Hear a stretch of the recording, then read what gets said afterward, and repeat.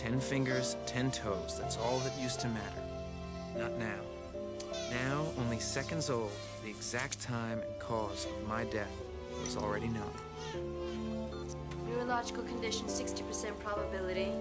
Manic depression, 42% probability. Attention deficit disorder, 89% probability. Heart disorder, 99% probability. Early fatal potential. Life expectancy, 30.2 years.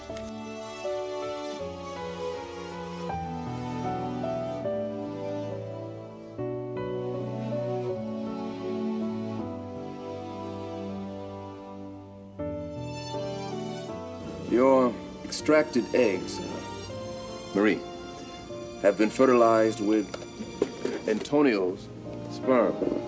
All that remains is to select the most compatible candidate. First, we may as well decide on gender. Have you given it any thought? Uh, we would want Vincent to have a brother, you know, um, to play with.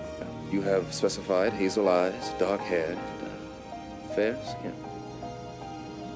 I have taken the liberty of eradicating any potentially prejudicial conditions uh, premature baldness, myopia, alcoholism, and addictive susceptibility, uh, propensity for violence.